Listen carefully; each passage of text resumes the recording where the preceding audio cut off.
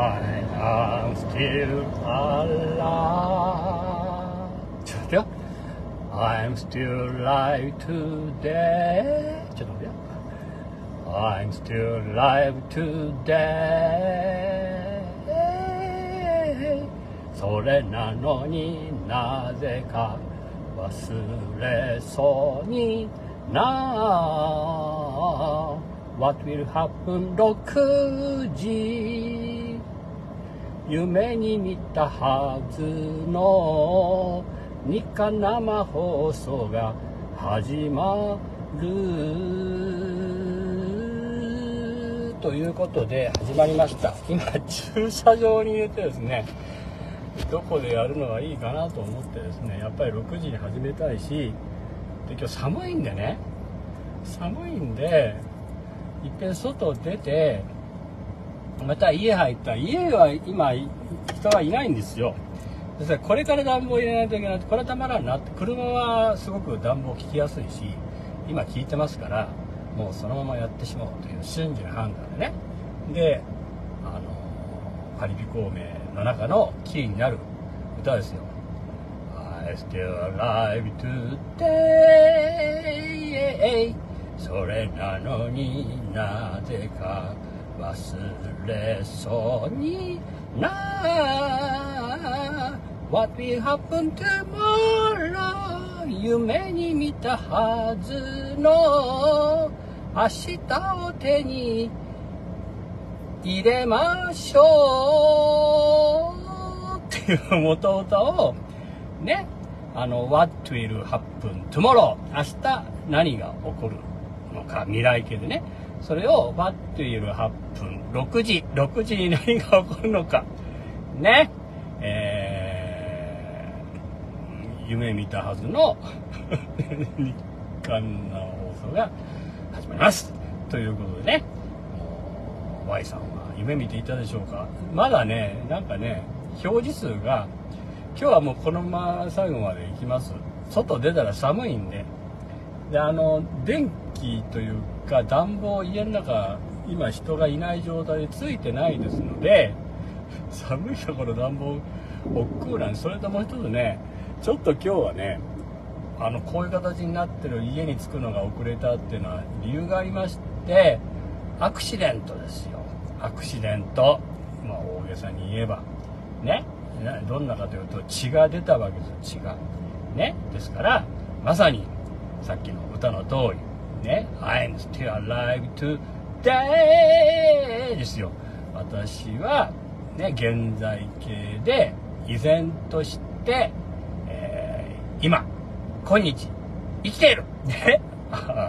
I'm still alive today っていう状態でね。と言ってもまああのすごいたくさん出たというよりもそうじゃなくってちょっと話を持ったわけですけど出血してるのは確かなんですよ。透析してますから肺抜いて止血してくれてるんですけどなんか緩かったのか自分があと抑えるんですよね。人間の体って不思議ですよね。この血液が外の空気に触れると直ちに固まるみたいですね。直ちに固まるっていう風に医療の学校の方では教えるんですよナースがそう言われてるのは直ちに固まる空気に触れたら直ちに固まるっていう風に、えー、言っておられましただけどこれ本当に不思議だって思いません、ね、なぜかというとこれ体の中で固まっちゃったら体の中で固まっちゃったら体の中で血が循環しないっていうことはたちまち死ぬでも体の中では決してそうならないように回ってるんで毛細血管っていうのなんですよ毛細血管まさにあの糸よりも髪の毛よりも細いね。もう目で太さを見ることができないような細かい血管が、まあ、肌のね隅々。またその臓器のね。だからその腎臓なんかはまさに毛細血管の塊で毛細血管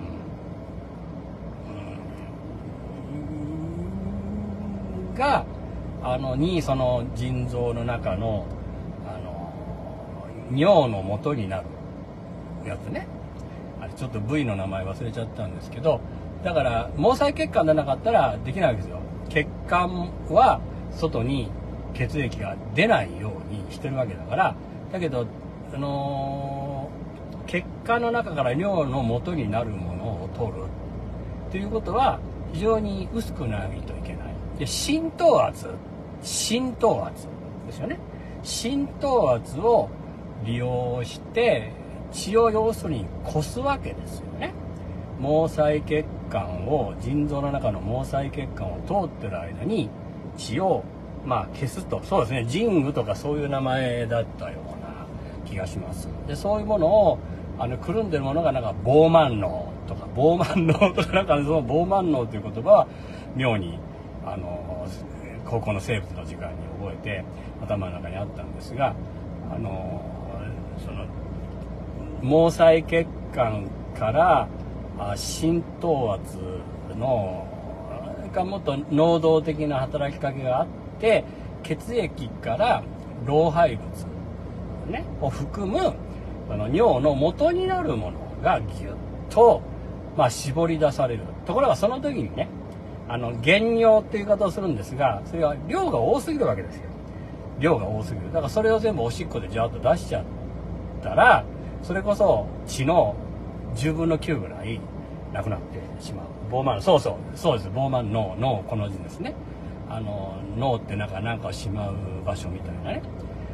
でその原尿が取れてそこから細長いところを通るわけですよ。尿細管っていうね。尿細管っていうところを通ってる間にその尿細管にもみちっと毛細血管が絡まっておりましてで尿細管の第1区画第2区画第3区画というところを通ってる間に1区画2区画3区画でやる仕事が違うわけですよ。でそれらの時に何をしてるかというとその原尿として出してしまったまあ多分ものすごい濃い黄色の液体なんでしょうね。そこからまあカリウムであるとかナトリウムであるとか体に必要なあものをもう一遍再吸収するということを尿細管尿の通る細い管。尿細管でやってるわけなんですよね。これって本当に不思議ですよね。すごく濃くて量もだから水分も再吸収されるわけですね。毛細血管からぎゅっと浸透圧で絞り出したのをもう一回、えー、再尿管で毛細血管に返す水ね。それからナトリウムとかあマグネシウムとか、えー、カリウムとかね。そういう体に必須のものをもう再回収してで確実にもうこれは毒素でいりませんっていうものだけを尿としてほかすまたそのうんとなんだっけ、えー、ジングジングでいいのかな。要するに最初に原尿を作ったとこで取りきれなかった老廃物を尿細管で取るっていうようなね作用もあってだからすごく小さいあれなわけですよ。小さい小さい小さい。それがもう数限りなく何億って集まって腎臓の半分。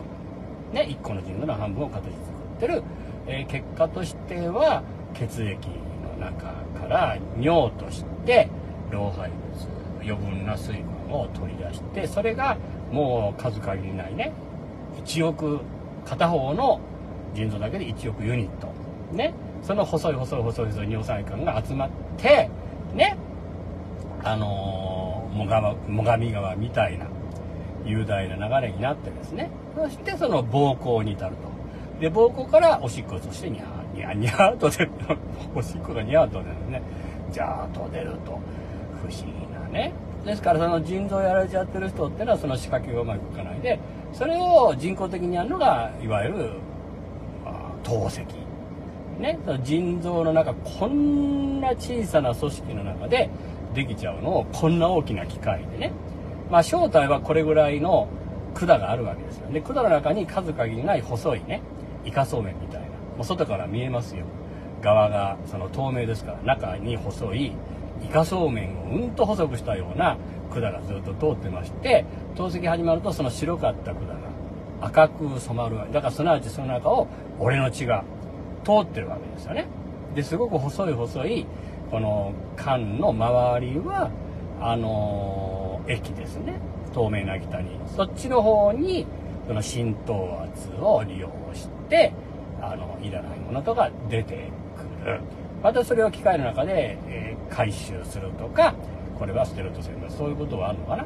そういうこのこんな小さな腎臓の中でやってることを透析の装置っていうのは人間ね電気を使ってやるわけですよね。それを受ける時でだから最後にあの針針最初に針で刺してで最後に抜いてでも抜いてもナースさんがナースさんナース君がきちっと処置して自分でこう10分間抑えてたら固まっちゃって不思議だよね。本当に不思議ですよね。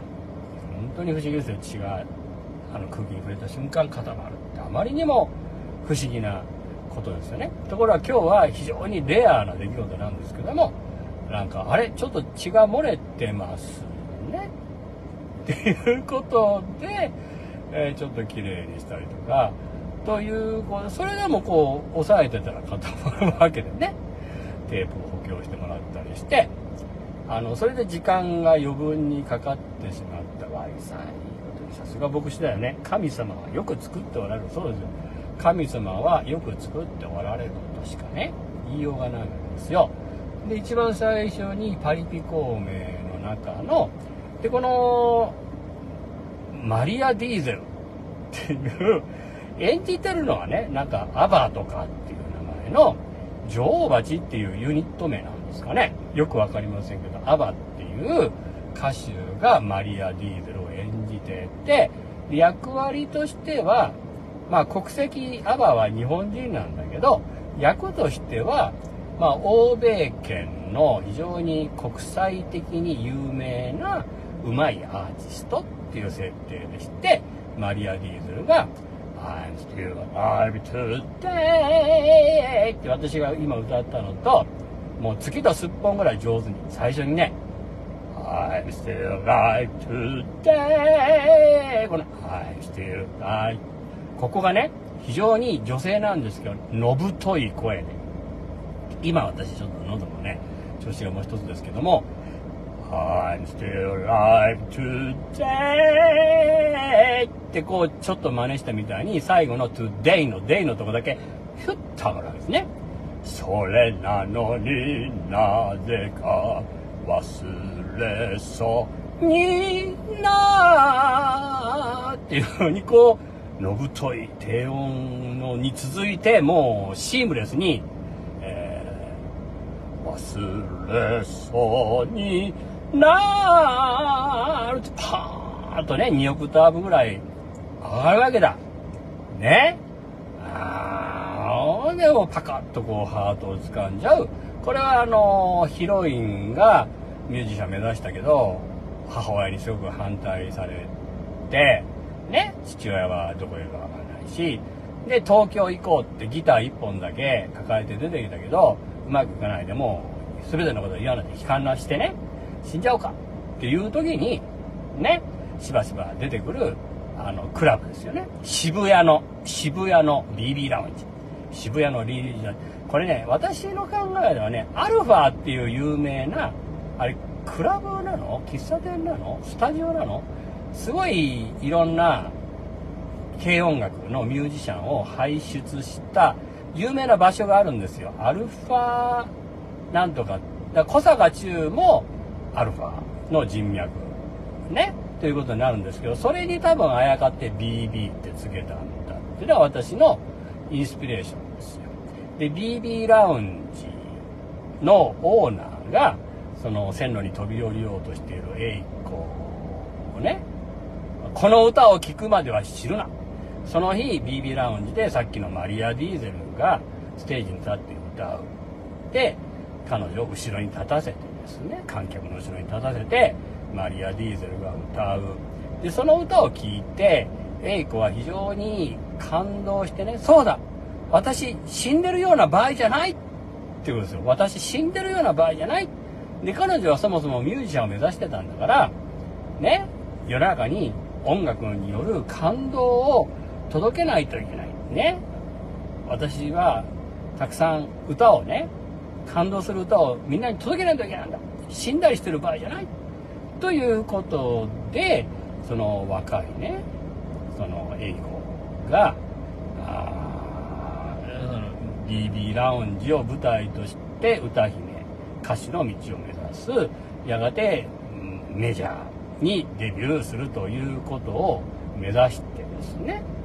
で、そこに、孔明が三国志の世からね、ピュッとやってきてですね。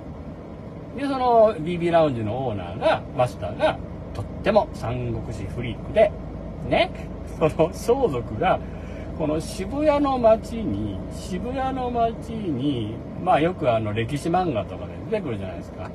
あの、軍師ですよ。三国志の時代の軍師、こんな大きな帽子かぶって、衣装もね、ざらっと長いね。その格好のままに、しかもまあ、死んだ時はかなり年取ってたんだけど、若返った孔明が生きててね。だから孔明にとっても、I'm still alive なんですよ。I'm still alive today ですし、エイコももう死んじゃおうと思ったけど、ね。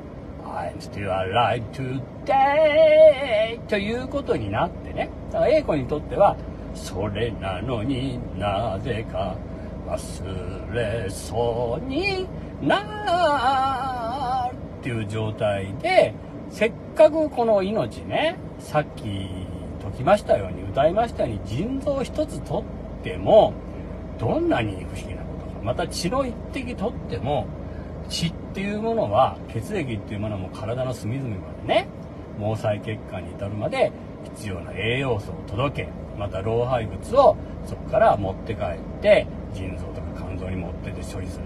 そういうもういろんな複合的な働きしてる。で、体内でぐるぐる回ってる。細いところも通っていく。ところが、体の外にね、傷ができて体の外に出たら、固まる。どんな絆創膏も及ばない。固まる。不思議ね。だからそういうふうに不思議なこの体というものを持ちながら、その死の危機に瀕することがあっても、もう一回死の危機にっていう場面があって、まあ、ずっと進んでいく時にそのラウンド BB のオーナーの小林っていうねおじさん三国志フリークねその人が若い時の話で実は彼はこの BB ラウンジで歌手を目指してた。歌手を目指していたわけですね。である日マリア・ディーゼルっていう女性と出会ってで設定ではマリア・ディーゼルが作った歌が新しい歌ができた。ね。聞いてもらいたい。ということでさっきのね still alive today. だから何回もステージに立って磨いてるうちにいろいろ磨かれてきたんでしょうね。一番もう原石ですよ。この I'm still alive today この歌を世界で一番最初に聞いたのは小林だった。そういう設定なんですね。それでこう世界に出ていく。いろいろ通過地点があってえ、いろんなフェスに出たりとかコンテストに出たりして上がっていく知名度が出てくる。その時にね何を血迷ってしまったのか魔が差したのか若き日の小林は審査員なんですかね。運営の人なんですかね。500万円賄賂を送って賄賂を送って確実に通過しよう。だからマリアの歌をもってすればねこんなことしなくたってねいけたはずなわけですよ。歌の力を小林は若き日の小林は信じきっていなかった。信じきることができなかった。金の力でというふうに思っちゃったんですよね。ところがそれは詐欺で500万円。サラ金で借りた500万円。借金だけ残ってなおかつこういう者たちはオーディションを受けることができません。オーディションの道も閉ざされてしまった。ね。でみんなにもう泣いてわびる小林だけどもう時すでに遅し。そしてこのマリア・ディーゼルも私は私は自分の歌でオーディション受けたかった。ね。だからチャンスなんだから誰でも受けられるチャンスなんだから。正当に出ればね。だからもっと上手い人自分より上手い人いるかもしれないから通んないかもしれないけど自分の実力でオーディションね受けたかったのにというふうに言いながら小林に背中を向けてね去っていくわけですよ。で小林の心に大変なこと。それからそれ以来彼はギターを一回も弾いたことがないっていう設定なんですよね。ギターを弾いたことがないという設定なんですね。そこに英子が現れて孔明が現れてね。でそのマリアのことですよね、うん、でそのしみじみとあ孔明と小林がね回がずっと進んだあ7回目ぐらいの時にねそういう若い8回がそうだったんで8回が問題の8回がそうだったわけですよ。解雇団とでもその描き方もあるじゃないですか。小林がタラタラタラタラね。孔明と向かい合っておっさん語りしたってね。同じ話じゃないね。つまんないわけじゃないですか。もういろんなところが気に食わない第8回でしたんですけども。中身としてはそのそういう小林の過去が明かされてね。その時に孔明がああそれはマリアさんにとって泣いて馬食を切るということだったね。もう的確な適用ですよね。泣いて馬食を切る。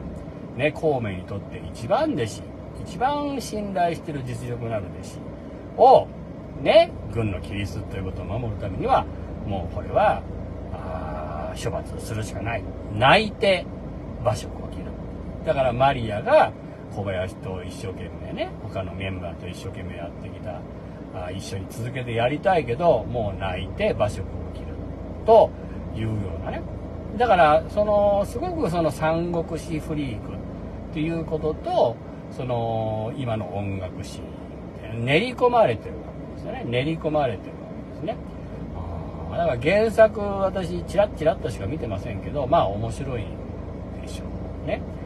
あのね、そう、あの、ナース君が最後に、バシ、あの、処置してくれた人が、最後の方に処置してくれた人がね、実は自分は原作のファンなんだ、そういうとこがあってね、なんとなくそうだろうなと思ったけど、果たしてそうだったってな感じね。だから自分は TVer に出てるんだけど、怖くて、1回しか見ていません。って言ってました。怖くて、1回しか見ていません。2回、3回は見ることができない。だから原作読んだ人にとっては、それにハマった人にとっては、原作の世界観、いろんな空気感みたいなのも含めて、やっぱりこれが素晴らしいと思ってるのが、まあ、往々にしてあるのが実写ドラマにしたら、つまらなくなる。あれね、例えば、鉄腕アトム、漫画の鉄腕アトムがあって、アニメはもうね、あの漫画の通りのキャラクターを動かせばいいわけだけど、あの、実写のアトムとかって出たことがあるんですよね、どうも。で、特撮技術も稚拙だし、そもそもアトムの紛争ね、妙竹林なものしか、もちろんできないわけで、これで思い出すのはナルニア国物語ですよ。ナルニア国物語。で、ナルニア国物語の実写か映画化っていうのはずっと前からやりたいやりたいって映画人は言ってたんだけど CS ルイスの遺族はかたくなに拒否してたわけですよ。だから今の技術で映画ね「ナルニア国物語」いろんなこう不思議な場面また戦闘の場面とかねいろんな妖精たちが出てくる。そういうことを特撮だとかいろんな撮影技術を今の時代にそれで作ったとしてもあの陳腐なものしかできない。シンプルなものしかできない。ですから、映画化はお断りってずっとと CS ルイスの遺族は言ってきたわけですね。ところが、もう20世紀、21世紀になってからか。21世紀になってからかな。企画型ってのは20世紀の一番ありかな。とにかく今の映画の技術であれば十分描ききることができるだろうあのナルニア国物語ファンタジーの世界を映像化してかえって映像にした方がもう目の前でね大画面で迫力のあるねナルニア国物語のストーリーを描くことができるという確信を持ってそれでは映画にしてください。ということでねナルニア国物語というものがあ来年またシリーズね公開されるんですかね。そのようにパリピコそのいろんな漫画とか小説とか実写化したら、まあ、特に漫画ですよね。絵がありますから。イメージがありますからビジュアルがありますからそれ実写化したら陳腐になることも多い。だから彼は怖いんでしょうね。パリピ孔明の原作の世界が実写ドラマになったらすごく損なわれてしまうんじゃないかっていうことを恐れて第1回は見て良かったんですが良かったですかって聞かなかったね。まあ私は良かったんじゃないかなと 思うけどね。ああ2回3回は怖くて見れない。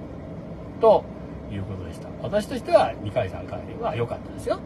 というふうに言ってきましたけど8回はひどかった。これはね私の名誉に関わりますから皆さんはパリ公演面白い面白い面白い面白いって言っててね今週水曜日にあるんだから見ろ見ろって言ったのに見たらむっちゃつまらへんかった。これ私のものを見る目っていうのは問われるわけですよ。三浦ってのはどんな狂ったね判断力を持ってるのか。こういうのが面白いと思うの。あの人相当なんかあの判断力がダメだよねっていうことになるわけですよ。審美眼というか心身眼というかね誠を見抜くようなそういう力がダメですよね。でこれ私の名誉に関わるわけでね。私なんかおそらくジャンルとしてはその小さいジャンルですけどやっぱりこの話は面白い。この人は面白い。この動きは面白い。っていうことをやっぱり鼻をプンプンね鋭くしてだからあれですよゴスペルイン文楽っていうのはジャーナリストとしては私が見つけてきたわけであってね文楽の太陽でねあのクリスチャンの人がいてなんか3匹だよ3匹だよって名前もついてなかったわけですよ。ね聖書の話をギター用節でやってる人がいるんですけど皆さんどうですか？取材しませんか？とかってね。まあねタレコミ屋にタレコミ屋じゃないよ田中さんっていうね田中さんって非常にこの関西圏の情報に通じて田中さんってお家が奈良の方かなんかですごいこう奈良の大仏を守るようなそんな感じのお家柄だったと思いますよ。ですからそういう古いものにも通じてるしでクリスチャンっていうことで。だから足利尊氏の直系の子孫がクリスチャンになってる。これも平中さんがもたらしてくれた話です。よまあ事件とかじゃないからね。スキャンダルじゃないですから誰が持ってきた話かって言っても身に危険が及ぶわけでもないし逆にまあ平中さんも退職しちゃったんかな。どうされるんでしょうか。平中さんがこの私の日刊生放送を聞くことは99%ないでしょうけど本当に改めてね感謝を申し上げてるわけですよ。そういう素晴らしい情報。でもそれ人によっては記者によってはねああなんとかって聞き過ごして取材に行かない。聞いたらないっていう人もいるでしょうけど私はもう違いますよ。足利尊氏の直系の子孫の話にしてもねあのプロの文楽の義太夫使いで聖書の話を義太夫節で太蔵の三味線に合わせてやってる人がいます。もうパーッと飛びついたわけですよ。で私の鼻は鋭く反応したわけでね。でも1週間後には花房大夫が当時はあの老人ホームとかそういうところにね慰問に行くわけですね。慰問に行った時に「トト様の名は十郎兵衛カカ様はおよねと申します」ってその古典ですよね。でお年寄りっていうのはそういうこの古い芸能に馴染んでるからすごい義太夫の人がね慰問に来てくれるって大喜びですよ。で私記事で書いた記憶があるのはもうその義太夫の公演ね老人ホームでの慰問公演が始まる。1時間前から。1時間前からよろよろっとしたじいさんばあさんとか。あるいは車椅子に乗ったじいさんばあさんがいい席を確保しようと。ね。前の方から詰まってぎっしりと。1時間前にはもう待ち構えてるという。そういうね。パリギ孔明でも出てきましたけど若者が熱狂的に集まるライブさながらのねお年寄りが。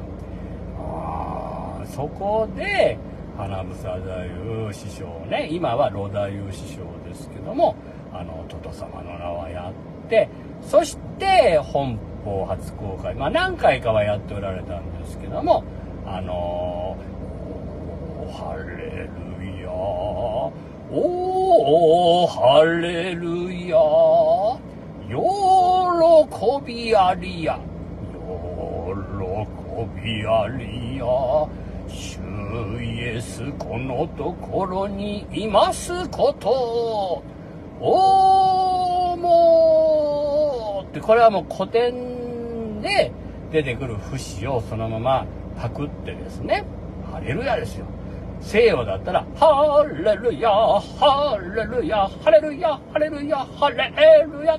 そういう風に歌われるハレルヤが、おー、ハレルヤっていう風に歌われて、まあ師匠はね、その日本人の自前の音ですよ。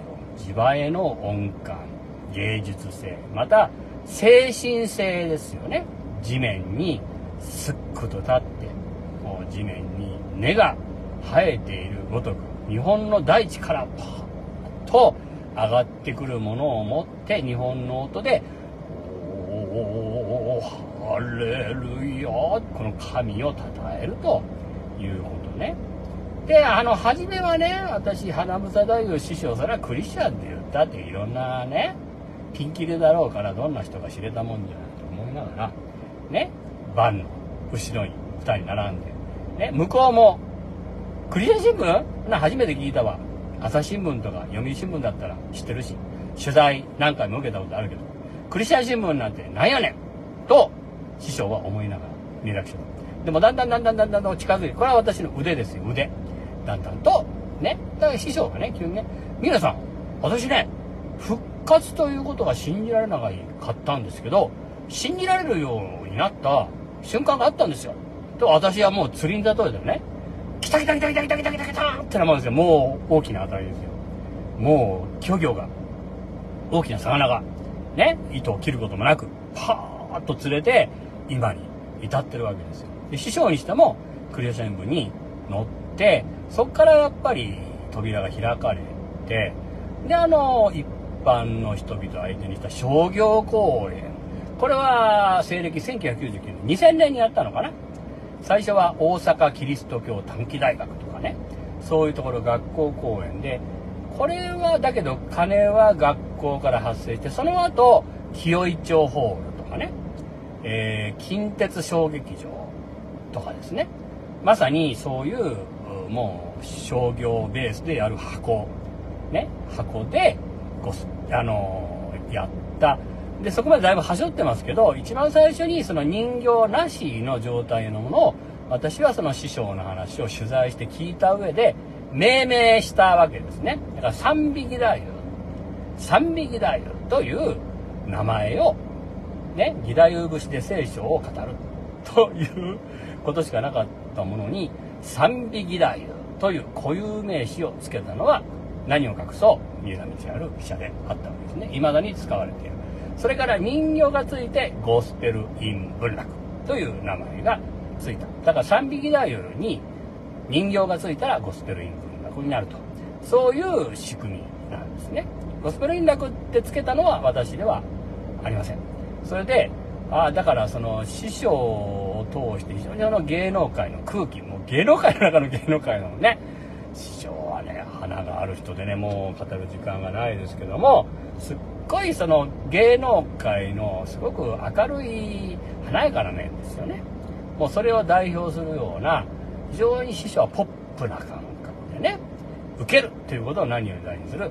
だからその感覚があるから、それ文楽ってやったら面白いんじゃね？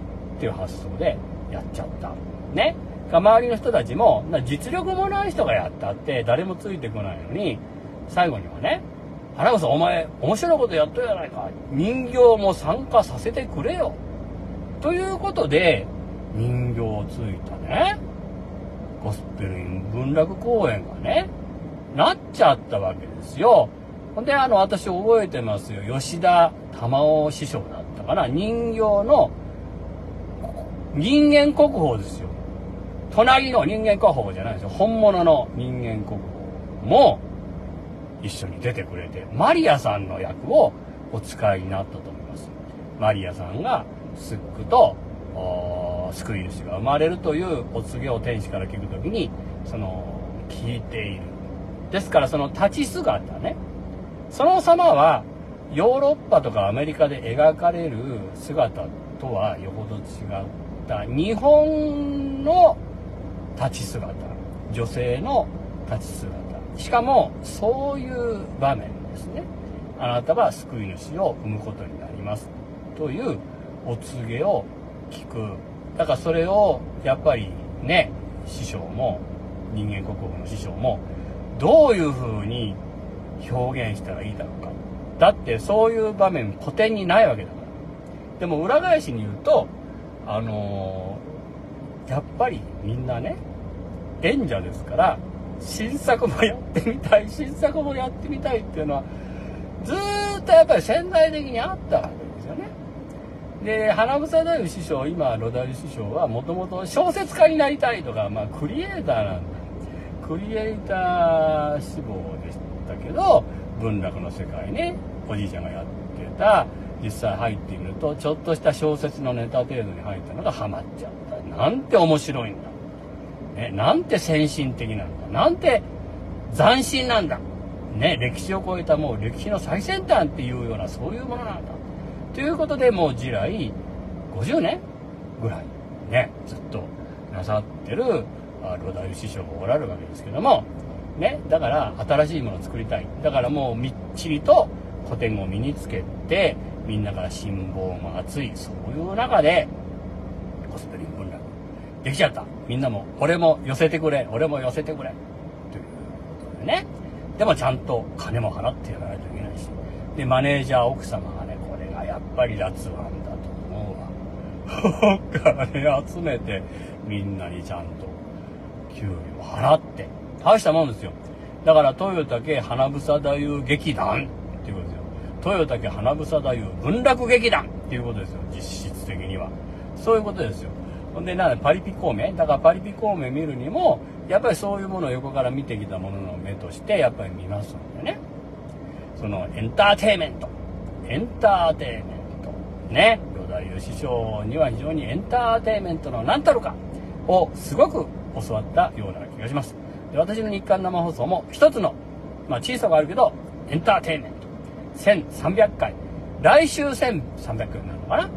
ということで、まあ、エンターテインメントつながりっていうことでね、当たらせていただいた、もう、1週間の初日から 長いライブ。で、お聞きになってるあなたに天地を作りになった誠の神様からの豊かな祝福と守りと導きがありますように、お祈り申し上げつつ、月曜日の日刊生放送、これにて、で、結びにコメント欄ですね。コメント欄ね。神様よく作ってある。そうね。最初の血とか腎臓の話。で、腎臓ボーマンドとかね。腎臓の専門用語ですね。そういうことで明日も引き続いてよろしくお願いいたします。お聴きいただいて誠にありがとうございました。もう39分。はい。